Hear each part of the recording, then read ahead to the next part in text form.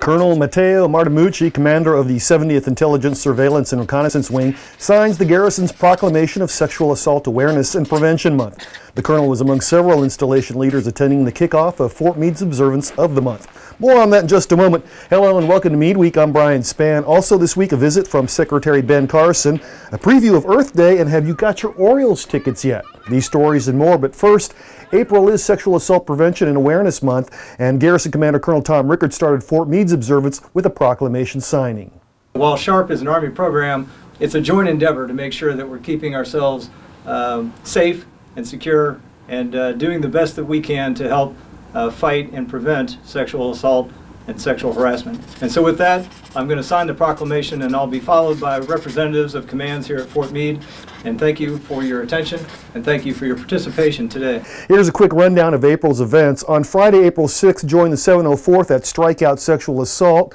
The 902nd is hosting Lapa Loop on the 10th at Gaffney. This year's motorcycle run, very popular event, is on the 20th. And don't miss the Sharp Expo on the 24th. The Denim Day Walk, which is an international event, is on the 25th and the Amazing Race returns on the 26th. Stay tuned to Meade Week for continued coverage.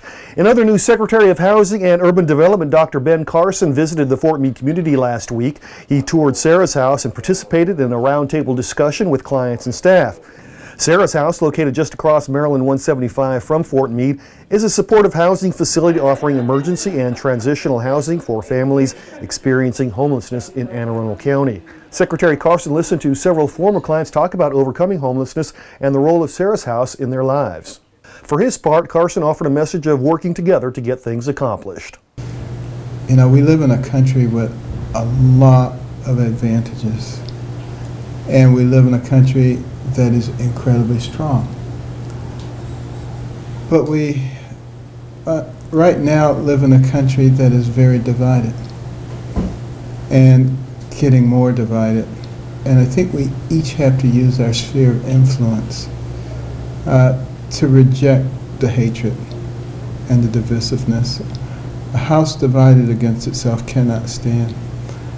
But when we decide to work together, pool our resources, I think there's virtually nothing that cannot be accomplished. Meanwhile, the Fort Meade Equal Opportunity Employment Office and the 704th Military Intelligence Brigade hosted this year's observance of Women's History Month. The event held last week at the McGill Training Center featured guest speaker Colonel Mary Martin, the Commandant of the Defense Equal Opportunity Management Institute. She spoke about the Institute and the importance of teaching the isms. I always found it interesting. I've never gone to military training which anyone taught me racism. I've never gone through military training which they taught us sexism. I've never gone through any uh, military training which they taught us how to be disrespectful to others. But because we are a slice of society, it's probably in some of our core. However, as we continue to teach on those things so that we can be good to one another, because kindness goes a long ways. And when you forget about those parts and pieces of who you are and who we want you to be as military members, it always makes a change and a difference. In other news, Earth Day is coming up, so here's a quick look at the nearly 50 vendors and exhibits on tap for this year. Highlights this year include Pershing Hill Elementary School students who will be putting on a fashion show of recycled clothing they made. Live animal exhibits are always popular. The Patuxent Wildlife Refuge is bringing a screeching owl and a falcon this year. This year's keynote speaker is Justin Garrity from VeteranCompost.com. TownePlace Suites at BWI is back again to raffle off two one-night stays. According to Fort Meade Environmental Division Suzanne Kopich, a lot more food options are going to be available this year. Corvias is once again providing free hot dogs, but if you want something a little more, Earth Day is bringing up to four vendors with choices ranging from Jamaican barbecue to gourmet grilled sandwiches. These, sadly, are not free.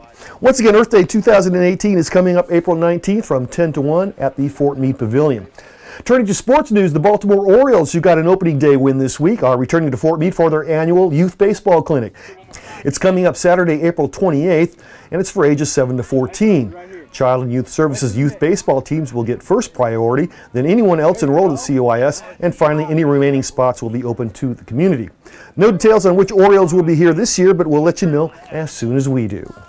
And that's Meade Week for this week. I'm Brian Spann. For everyone at Meade TV and the Fort Meade Public Affairs Office, have a great weekend and a great Meade Week.